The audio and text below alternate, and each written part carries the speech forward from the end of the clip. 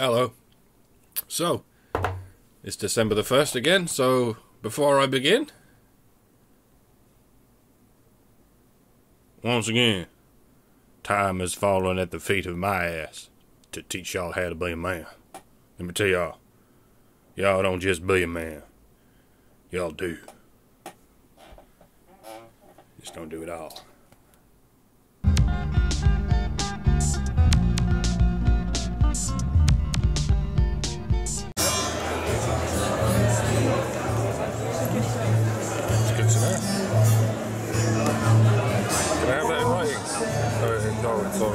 Writing. Uh, Nobody in this room invented patriarchy, and nobody in this room invented white supremacy, not that I'm aware of.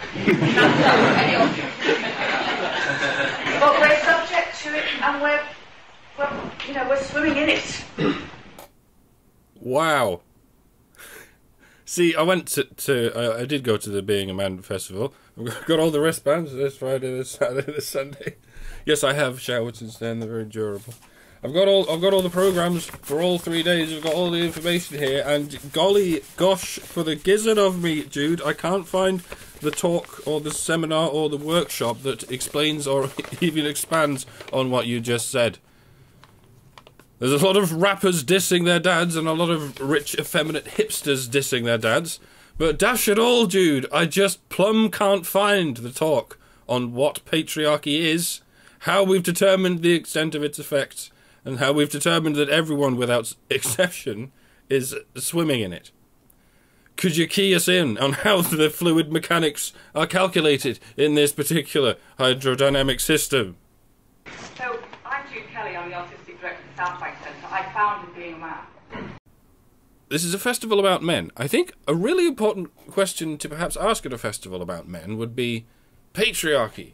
Is it a thing? How helpful is this theory? Like, are we married to it? How much wiggle room do we have here? But, but as you can see, that's out of the question because the founder of the festival herself considers it an open and shut case. She elementally compared patriarchy with the air we breathe.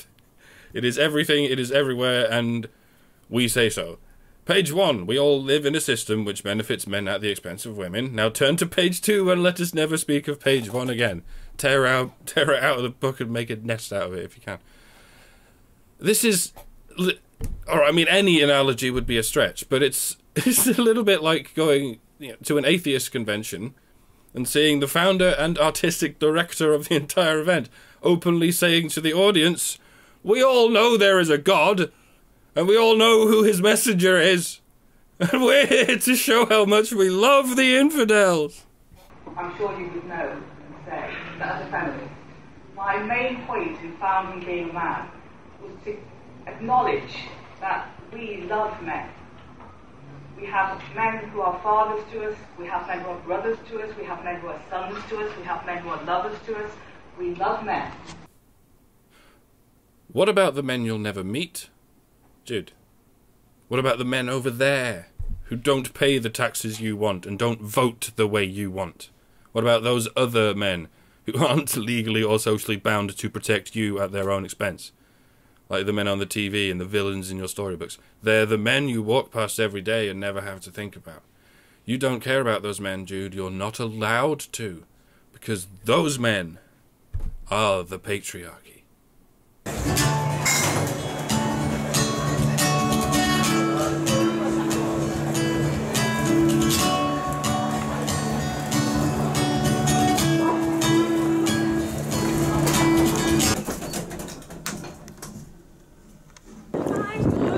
We the South Centre. It's the Royal Festival Hall.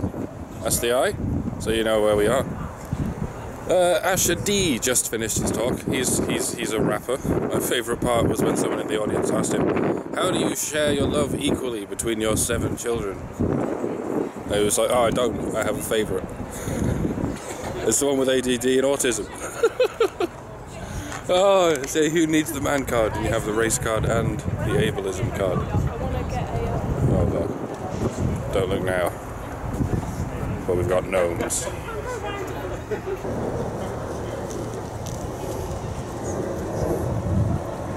Why are you having a festival about men? What about the, the gnomes? What the hell's wrong with your mouth? I wasn't taught how to be a man. I don't know whether you can be taught how to be a man. Yes, uh, quite a lot of people said that. It's a bit of a weird name for a festival that you would go to. is, is, is it good form to go to the Women of the World festival and say, I don't think women can be of the world? I mean, you'd get such a loud and violent backlash, you wouldn't have the time or opportunity to contradict yourself like you do here. That the biggest part of being a man, I suppose, is being able to talk about what your problems are. There we go. It's not guns, it's not bitches, it's not bling, it's being able to talk about your feelings. But it's not something you can learn. That's why we're teaching it to people at a festival. I think only when I became a man myself and I had my first son. The plot marinades. you become a real man when you spawn. Interesting. Okay. Uh, again, do not say that to women. if you go on record, record telling any amount of women, even implying to them that they're only real women if they can have children, it will your career will be in the toilet quicker than you can throw up in it. You you do know that. Good. Just checking. You're, you're not just throwing caution into the wind here. You're fully down with the double thing. All right. Show us what you can do. But my dad wasn't in my life. A lot of the times I would see my dad, he'd be drunk, but my dad wasn't in my life. When he comes around, he takes you out or whatever. My dad ducked down in the back, son, and he kind of pushed my head down behind the seat. My life. My dad came. Basically, I was filming in my life, and he didn't bring my son back for two days. Um, and after that, I told him that I don't ever want to speak to him again, and I don't want him around in my life. But my dad wasn't in my life. Whatever happened, you know, it's a complex um, relationship that I had with him. Uh huh. Your dad was in your life, Asher. You just described it in some detail. How he was in your life, and he was even ready and willing to help you raise your children. Until you decided to eject him from your life. And yet you introduced this story by saying, My dad wasn't in my life. Even though it's patently untrue. Is, is, it, is that just something people people are expected to say in your community? Is it like a badge of honor to be able to say I didn't have no dad? It's like having an ASBO. Like, yeah. Even if you did have a dad and he loved you and wanted to be with you, you still have to pretend he was never in your life because that gives you more street cred. See, I think this might be an unhelpful and damaging lie you're being perhaps socially coerced into telling yourself. And I thought I pointed out since Jude is mysteriously neglecting to. I mean, on the on the contrary, I think this is why you're the first speaker. She wanted you to tell the story of how your dad was an asshole and you don't have no dad, but you still went on to sire seven children. That is that is a success story of the modern family as far as feminists are concerned. No fathers, no betas, just a village full of single mothers and their immaculate conceptions. The harshest lie in common parlance today is I have no son. The next harshest is I didn't have a dad. Needless to say, the lies I have no daughter and I didn't have a mother are not in common parlance. Is this what patriarchy looks like when you're swimming in it, Jude? Denzel said to him, Do the movie, but whatever you do, don't kiss anyone or don't do the sexual scenes and stuff like that because the black community will never forgive you for it. This is a recurring theme at, at the BAM festival. Uh, apparently, the black community is very homophobic. And nobody can think of a solution other than smash the white supremacist patriarchy. And when I went to do this scene, I, my, my, the natural thing for me to do was to, you know, I tried to put my tongue in the guy's mouth. And he went, cut! Cut! And the best way to smash the white supremacist patriarchy is to make interracial gay cinema. I think these are the two stories you were brought on to tell, Asher. Fact of the matter is, um, I've got a lot of respect for it. I've got a lot more work for it. Um, people believe in me more as an actor. I've been taken more seriously yeah. about about what I do, um, and my peers respect me more. Your peers? That's mostly actors now, isn't it? And the backlash that I expected to get from, you know, my community, the black community, um, wasn't half as bad as I thought it would be. If a straight guy portrays a gay guy, actually, that's a sort of solidarity in a way. Yeah, I mean, yeah, totally, totally. totally. and so, black community, the moral of the story is this resentful aversion you have to homosexuality, you need to free yourselves of it by diving headfirst into gay. When you surface, you will receive fame and riches beyond your wildest dreams. But but this this resentful aversion you have to your fathers, keep up the good work. It's doing wonders for your complexion. All right, I'm done with you, Asher. You're you're very confused indeed. And yes, I am disrespecting you. All right, back to the floor.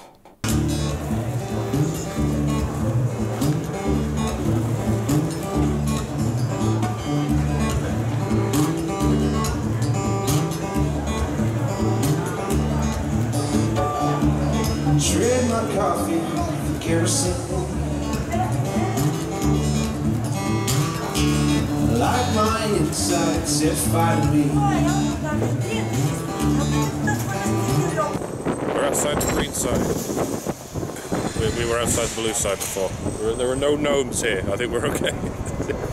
there's, there's three different things that are on at the same time now. Maternity the debate, I belong there, and boys and care. Boys and care, can't you? And I can't actually find two. It's a play. It's an hour-long play about being a, a Syrian immigrant in the UK, which is, which is related to being a man unless you're trying to get sympathy for Syrian immigrants, in which case they're all women and children, and not from Afghanistan.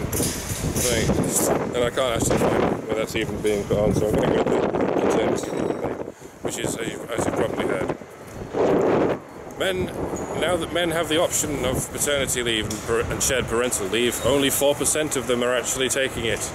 Gender pay gap, gender pay gap, gender pay gap. They've amassed a bunch of people who've written books about toxic masculinity to try and answer that question. So, uh, I'm going to go watch that. Um, although my father was obviously present, but uh, he, the, the fact that he wasn't there as much as uh, as much as my mum obviously meant that I kind of uh, my mum took kind of uh, I guess centre place in that. Yeah. And uh, how did you feel about your dad at the time? Can you remember your sort of, you know, your sense of emotional connection, the uh, the presence that he had in that his uh, in your life, I don't think there is such a thing as being a man. and how that has influenced potentially uh, the sort of father that you are yourself now? I guess uh, it's not just to do with um, my own experience. I guess um, today, uh, men today, dads today are more present than their dads were, um, I think generally, and probably than their dads' dads were in that case, because society is, has changed in that way.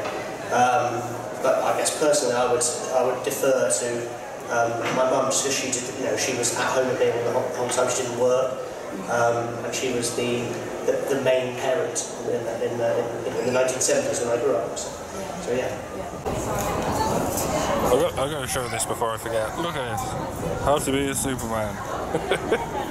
we've brought Nietzsche to the people. Specifically, we've brought, brought Nietzsche to seven-year-old boys. Uh, it, uh, it's uh, it's a sculpture. I think it. I think it's a sculpture. It's. I don't. I. it's supposed to say starring Martin Kemp. It's. I don't. I. I just. I just don't. Here we go. It makes sense now. It's a modi- modified social bench. the modified benches transform their surroundings into places of activity rather than rest and solitude. You even fucking called it a social bench. We can't get a fucking rest because there's nothing to sit on but your goddamn social benches. The, I, you see what I mean? This is some bullshit. This is everything that's wrong in the world. I know you need to sit down. I know. I know. I know you need to take the weight off your feet from a long day of work. But it's not as important as our weird ass fucking projects because this means something. Uh. Once again, we've got two things on at the same time: boys don't cry and bad education. And you can imagine exactly what all this shit is about in the other one in the in the big room with the echo. Yeah, sorry about that. Fuck you. Sound quality is not as important as uh, as me and, and my anxieties. Let's go and watch Boys Don't Cry. So I'm really delighted to have uh, such an expressive and interesting uh, panel with me today. Yes, hello. I'm delighted to be here. I'll be breaking up the sections of panel discussions as much as possible. I'm afraid the flailing, delirious weathercock we got to hold the camera was unava- unavailable for comment. Believe it or not, he was concentrating on not shaking the camera. If you're emotionally expressive, you're not going to get very far. And people are going to bully you, people are going to take the mick out of you. Uh, It's good that you're thinking, but you've got the causality a little bit twisted up there. People don't bully you just for being self expressive, they bully you for whatever psychological reason they can.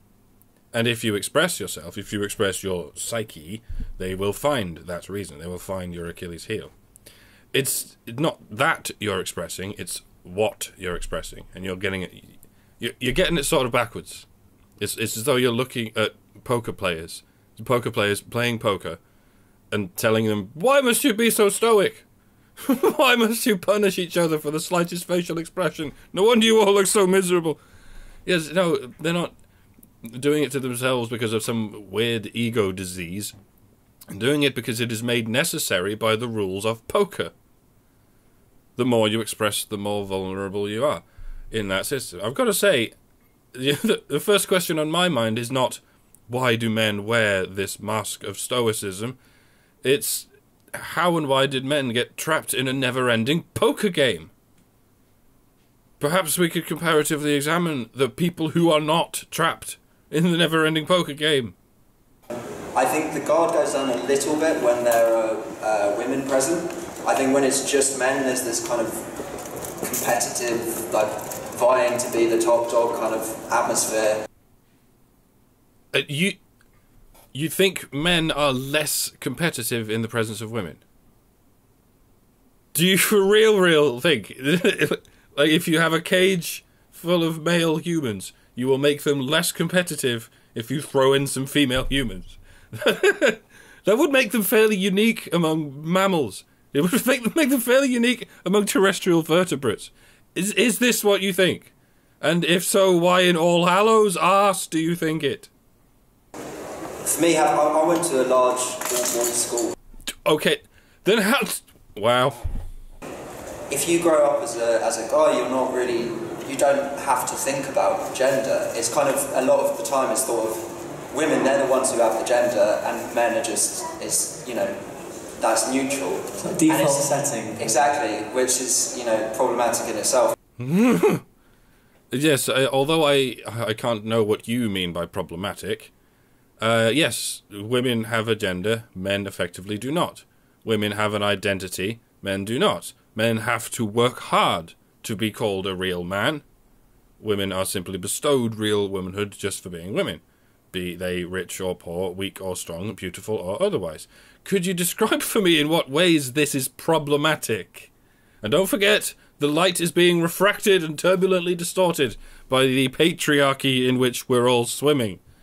So remember to recalibrate a few deg- a few degrees up before you fire the torpedoes. Ready, aim. Because it oppresses women. That's right. It's so easy when you think about it in just the right way. Women get to dress and act like the ruling classes of any given historical period, be it Renaissance aristocracy or Egyptian pharaohs or newborn royal babies, while men of all classes all over the world aren't even allowed to answer a phone unless they're dressed like undertakers. If the genders were reversed, or, you know, swapped for any other two groups of people, there would be no doubt in your mind which is the oppressed class. But let us never forget the predetermined conclusion. We're all swimming in patriarchy. That means society is set up to benefit men at the expense of women. So you see, men have the privilege of being society's indistinguishable pallbearers, and women face the systemic institutional oppression of being whatever they feel like. Hey guys, what you know, what if we're not all swimming in patriarchy? What if there's not this elusive and untraceable force out there that no one is responsible for creating, but everyone is responsible for fixing? What if this unfalsifiable conspiracy theory of yours is not true? Yeah, the red pill is not a conspiracy theory. The red pill is the moment you realize all the conspiracy theories are false. And the world is rudderless. Yeah, um, actually, I watched a YouTube uh, video before I came here. yeah, is that an endorsement? They, they they didn't mention the internet much at BAM, except to endorse their own websites, of course. The the strange thing is, I think fewer people attended this festival than are subscribed to me on, on YouTube. And, and and that might make it seem like we have them outnumbered, but you know, you you guys you guys are like a few a few dots in a few hovels scattered all the way across the planet. The the BAM festival is geographically limited and to an area of you know rich opulent people who enjoy pastimes such as crowds and identity politics. So it's it's basically like you know digging up a chunk of London soil and counting the earthworms and shit. And this chunk of the South Bank contains a thousand hypnotized retards for every one sane person. and uh, and you know these are people who still get their information from the mainstream media. They've trusted it their whole lives. They still think the BBC and the Guardian are unbiased and centrist. oh. And and see, there's sort of an age divide among these folks because there's so many of them. The older generation tends to think social media is part of the problem, while the younger generation thinks it's part of the solution. but they're all at least agreed that you shouldn't direct too much attention to YouTube because YouTube is full of those unspeakable heretical patriarchy deniers. Totally, I think, um, especially with like pop culture, there was like kind of a big thing with uh, Will Smith's son, Jaden Smith, wearing a dress. And everyone's like, why is he wearing a dress? Who cares? Really, who cares? Wise words. Uh, yeah. And it, yeah, if the son of a movie star could get away with it, then why can't I? Oh, that's right, I'm busy selling crack and I need pockets. Why? Why is that such an issue? You know, he is loved. And that's what I think um, a lot of men are running away from is love. You know, if the stereotypes are to be believed, then black men's problem is they run away from their children, while white men's problem is they're not allowed to see their children. Maybe black men are just watching what happens to white men and going, no, I'm cutting my losses now before I get emotionally involved. I don't want to end up broke and suicidal like those poor white bastards who actually love their kids. There's no panel discussion about that, by the way. There's no lectures about divorce. Nothing about the lives ruined by the ideologically biased decisions of family courts. Let alone any attempt to frame it as a crisis of white families. But you've got plenty of black men telling other black men not to abandon their children, like I'm proud of my dad abandoning me, like my mum said he did. I. or maybe the stereotype's not true. Maybe black men, just like white men, do want to see their children. They do want to give them love and attention. Unfortunately, the only women they are able to impregnate are women who would rather raise children on their own or have already moved on to someone else, like the state. I have, I have a suggestion for your next festival a brief talk or discussion entitled Hypergamy. What is it, and how can it affect people's lives? If, if you find the very concept of female hypergamy to be so non existent as to offend you with the mere invocation of it, then I would invite you to weigh it against the very concept of patriarchy. If patriarchy is an unquestioned given, and hypergamy is blasphemous to even mention, then perhaps you're not quite as egalitarian and wide open to controversial or offensive subjects as you say you are. Bam. Self love, especially. And um, I'm just talking from also experience, you know. Um, I've learned through my dancing to learn to purge, learn to put all of this kind of energy, this lost energy, into something through me crying. Okay, so to you, crying is a bit like throwing up. It's something you do on purpose to purge yourself. What? Fuck it, man. Each to their own, I suppose. But I don't know. To me, I'd say crying is more like sweating. Your your skin sweats when your body is under stress, and your eyes cry when your mind is under stress. And the only way to sweat less is to endure the stress. Train yourself. The first time you skin your knee, you you might well cry, but the second time you'll just go ah ah, and so on and so forth. And by the third and fourth time, your lip will barely tremble. Exercise. If you're physically healthy, you can climb a staircase without breaking into a sweat afterwards. And if you're psychologically healthy, you could do it without crying about it beforehand. But as I said, each to their own. If you'd rather binge on mental junk food and then barf it out your eye sockets, then what else? I'm sure that works too. I can't. Oh god, I have to move on to someone else, dude. Here's everyone's problem so far. When a crying child says, "I want my mummy," you find their mummy. When a crying child says, "I want my teddy bear," you give them their teddy bear. And when a crying child says, "I want candy," you might even consider giving them a candy. But when a crying child says, I want my daddy, you lean down into his little face and say, You're not crying enough! And then you fuck off and leave him crying. And then you wonder why he stops crying forever and pretends he never had a dad. Do you think there is a different pressure on the younger generation when it, when it comes to emotions? And do you see that changing at all? Well, I wrote that show with my nan, so we made it together.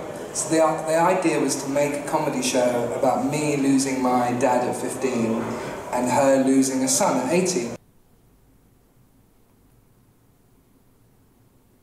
I think this is why a lot of boys turn to drugs, because it's at least better than getting addicted to amateur dramatics. So my dad died when I was 15 in the middle of my GCSEs. He was diagnosed with cancer 10 days before he died. So it's incredibly sudden and a very sort of weird whirlwind to be in. Yes, for you, crying is more important than trying to get your dad back because you can't get your dad back. But that puts you in something of a minority, especially compared with the people who don't have their dads because their mothers won't let them have their dads. Sorry if I end up hammering on this point once too often, but this Boys Don't Cry seminar would be well accompanied by some kind of dads don't get custody discussion. And I, yeah, I'm not, it's nowhere to be found, I'm afraid. That, you know, it was a really odd adjustment period to go back and suddenly go from being a sort of Jack, quiet, slightly overweight, does a bit of drama, to being like Jack, the boy whose dad died. And that was a very kind of visceral experience. And you may not be able to get your dad back, but if you want to prevent other dads from dying, then in your case, cancer research is what we need. Anything you could do to raise awareness of the kinds of cancers that dads get. This one's for the all clearers. Reach for the skies. Going back to the disabled toilet in the sixth form block, where if I felt really sad at school, I would go to cry. And the reason I would was because it was somewhere completely separate. There was, you know, nobody really used the disabled toilet. It was a sort of like thing that was there, and I just used to hide there.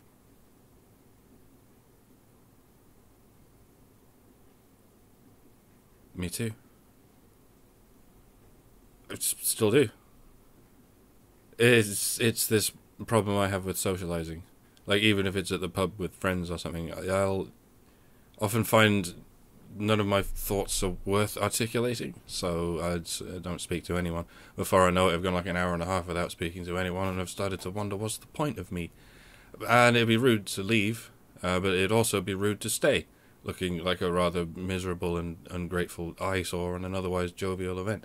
So I, I go to the toilet cubicle. And and I find myself crying for what is essentially no reason. and though you know, crying for no reason is not exactly a picnic, it's not as bad, in my opinion, as crying for a reason. Having a reason to cry. The strange moments of anxious melancholy I experience are generally over after a couple of hours. I am left only to imagine what it's like to cry for a reason that never goes away. Like the loss of a child or the loss of a parent. And as much as I appreciate whatever sympathy I may have anecdotally swirled in my direction in making this point, I would ask that you cast that sympathy in the direction of those who need it. The people who have lost a child or a parent and can still get them back. Or the people who might lose a child or a parent but through some accumulation of emergent actions, including your own, will be spared that experience. Prevention's better than the cure. I'm going to keep saying this. Thank you very much for the plasters and the bandages and the stitches and the ointments. Can we please do something about the Wolverine? Um, so really, it's about it's about dialogue and getting this conversation started here and out in the world. Good, good. You don't mind me broadcasting this footage then? No problems with that, because it'd be pretty shitting duplicitous if you did. And thanks for listening so intently. Thank you. I mean, for fuck's sake. Not only are they fucking eyesores of neon orange, but as you can see, they're here for the sake of the children. Won't somebody think of the children? It's like when you look at any park, any uh, just just just park near your house.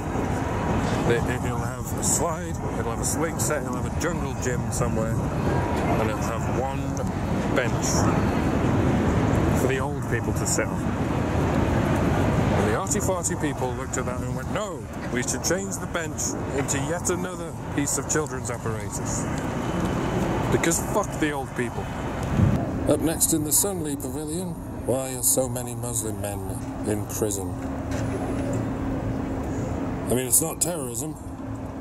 So what the hell's happening? It's not as if it's other crimes. You know, I'm really tempted to simply go down there and listen to what these men have to say. Unfortunately, it's all at the same time as the one about male suicide, and that is, that's the one I'm going to have to watch. I have to know what the establishment excuse is for this shit.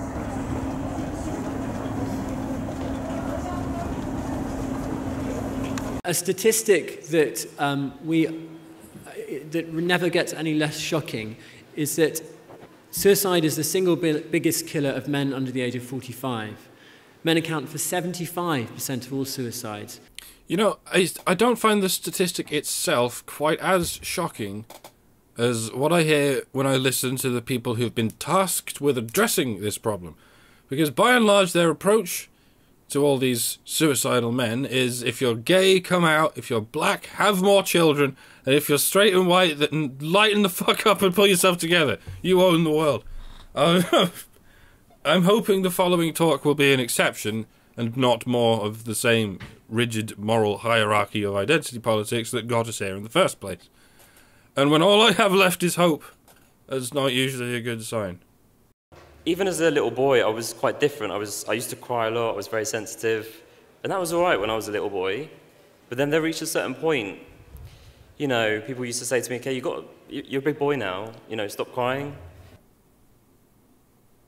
You mean adults aren't supposed to cry as much as children? Yes, that is that is the nature of such of such a crossover in a social species such as this. Or any again, this is biologically normal unless you're some kind of marsupial. I'm all in favour of, of men expressing themselves and expressing the source of their problems. But could you not find someone less fatuous than Mr. I can't handle being a placental mammal? Jesus, it keeps coming down to this. Men are expected at some point in their lives to grow up and take care of themselves. And women are not. women are encouraged for their entire adult lives to keep acting like children and cry victim when you don't get what you want. And all these people are looking at that situation, thinking, how do we make this equal? And the only solution they can think of is we have to treat men like children as well. This is how the idiocracy happens. We're going to infantilize and emotionally lobotomize every living citizen because we were all too polite to say maybe the women should change. If young boys feel the need to act like adults, while adult women feel the need to act like children, then why don't women grow the fuck up? Why is it always men need to break the fuck down? It's never women need to grow the fuck up. You cannot ask that question.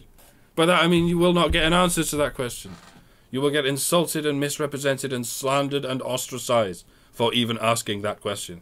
Because it has already been answered by the foregone conclusion in which we are all swimming, need I remind you. Patriarchy is all around us. That means society is created for men's benefit at the expense of women. That means men need to sacrifice for women and not the other way around. Women need more human rights. Women need more opportunities, more children, and more free stuff. And men need to give it to them and stop petulantly crying about all this power you're losing to women. And then come to our man festival and learn how to cry and express vulnerability. But you can only cry and express vulnerability regarding the approved and regulated topics, which are your father, the boys in your school, and how much misogyny there is in the world. And I was always a bit different. Um, I was, uh, like Johnny said, I was a bit more, more of a sensitive kid. So far, the male suicide talk is exactly the same as the boys don't cry talk, except it's mostly probably straight men, and boys don't cry was mostly probably gay men, which is a weird way around since gay men do more than their fair share of the crying and the suiciding. Started to to cry a lot. I used to take myself into the cubicles at work and, and cry and not really understand why I was crying. Small world, isn't it? Fancy seeing you here as well. I, I, you know, I wonder how many men there are up and down the country right now, crying in a toilet cubicle, as quietly as possible. Maybe we need a name for this peculiar gendered phenomenon. It's like a anxiety attack. Or a manic attack. Oh, sorry, a thing. In these issues that I was having, I basically just um, drowned them in alcohol and drugs and partying and being a trying to be a lad. Surgeon General's warning lad is not to be taken with any drugs, alcohol, or antibiotics. Lad is not suitable for pregnant women. Lad Pharmaceuticals is not responsible. Please consult your local GP. And very much like yourself, I kind of created this faux masculinity of going out and getting drunk and doing what I thought men my age did. Fuck's sake, you can't just be drunk, can you? You can't just be enjoying yourself. Like women do. When women go out together and get all shit faced and girly and loud, they're being free spirits and living life to the fullest and girl power and shit. But when you get drunk and have a good time with your friends, you're not manning properly. when women do it, they become intoxicated. When men do it, they become toxic. Men and women fail in exactly the same way, but only men translate that failure as a failure to live up to an ideal of their gender. Quite right, David. Well, these two mofos just did it again. So you and I have to be here to remind everyone once again that if toxic femininity is not a thing, then neither is toxic masculinity. Because toxic masculinity is a ruddy good example of seeing your failings as gendered failings. And you might want to avoid that kind of black and white ideological thinking if you don't want to come across as a man hater. And, you know, dear men, if you drink, take drugs, or have fun with your friends, it doesn't necessarily mean you're a, you're secretly manically depressed and you're just being a faux man. The fuck. It's very possible that all you're doing there is having a healthy amount of fun. Don't listen to the moral busybodies who call you a sissy for playing with dolls, and don't listen to the moral busy- busybodies who call you a lad for playing with alcohol. It's clear at this point that the people at BAM Festival have no principles. They just have a list of unacceptable slurs like pussy and sissy and faggot, and on the other hand, they have a list of acceptable slurs like lad and macho and misogynist. Because to them, it's perfectly okay for to, for a boy to sit alone in his room trying to be more like a girl, but it is strictly verboten for a young man to communicate, let alone commune with other young men in the outside world, because that's lad culture and it leads to rape culture. Do you people seriously believe you are improving men's mental health? I think it's very rare for men to be able to sit down the pub and go, oh, do you know what? I've been feeling really depressed and dejected and I had a couple of issues I need to talk about. They don't. They talk about the football or women or whatever they want to talk about. It's not a subject that we brought up in normal conversation amongst men. So, men don't talk about the issues they're having in their lives. They talk about inconsequential things, like women. Do you have any iceberg tip of a clue what you've done wrong there? Or is this a persistent blockage with you? When you when you're when you're down the pub and your mate Barry is like, My wife kicked me out, Aaron. The divorce went through. She's got the house, the car, both the kids, and she's uh, she's been fucking the next door neighbor for the past six years. And all you can say is, "Why don't you tell me about your problems, Barry? All you ever talk about is women." Whilst I found on Twitter that people are a lot more willing to be open. See what did I tell you? Social media. So, some of them are for it, some of them are against it, but none of them know how it works. Sir, please don't tell anyone that people on Twitter are more willing to be open. It is untrue. It is very badly untrue, sir. Twitter will improve no one's mental health. It is a hellish menagerie of Dr. Jekyll experiments telling you to kill yourself. Okay, moving on. Next pundit thing. Oh. And it took a long time in my head to realize that the reason that people didn't want to talk about it is because real men, obviously, are invulnerable. to women. Men as a group are eternally and unquestionably invulnerable to women as a group, according to patriarchy theory. and should be invulnerable. To women. And if they're not, then they're not a real man. Heart of the problem. Dead center of the heart of the problem. You are not a real man if you don't believe in the patriarchy. We could only really talk about it if they were under 18 Yeah, and they hate their dad. or if they had some other additional thing about them like being black or gay. that made them okay for funders or for the media to talk about. We've got a long way to go, haven't we? And, and what we've seen in the last five years, particularly in the last two years, rapidly, is quite a big cultural change. And, and lots and lots of discussion around gender and men and suicide, and that's been brilliant. Oh, really? Well, well, I'm here to celebrate what the dialogue on male suicide could be. If we give it time, space, and permission to expand its boundaries, so to speak. I think it would be more brilliant if we give men the time, space, and permission to blame their problems on something other than their fathers and their friends. I would let them perhaps talk about the abuse they received from their mothers, their teachers, their girlfriends, their wives, and of course the state, on the behest of all of the above. I'd give men the opportunity to talk about the laws they'd like to change, so that they might enjoy the same human rights to which women are privileged, such as the right to have children and the right not to have children. I think we might get fewer men killing themselves if we put the navel gazing aside for a moment and work on giving equal reproductive rights to men. But that's another one of those questions that won't get an answer, because it's a question that's made invalid by the all permeating invisible superfluid of patriarchy, in which most of us are floating face down at the moment. Yes, the airheaded identitarian hypotheses you give crazy people billions of dollars to come up with, not helping. When it comes to men's suicide. Definitely not helping. On the contrary, watch me while I insinuate that it is causing this. All right, I'm done. I'm done for the day, for the uh, for the theoretical narrative day, and I'm I, as as exhausted now as I was on the scene. So I'll I'll leave you there. I'll pick it up on on the on, on the next imaginary narrative day.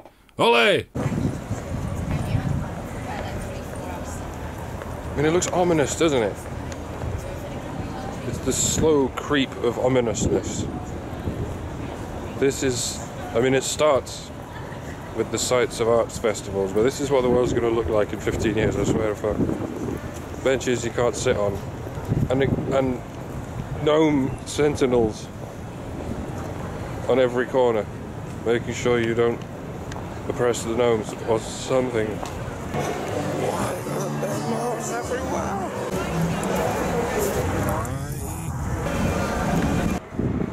don't know why I. Uh...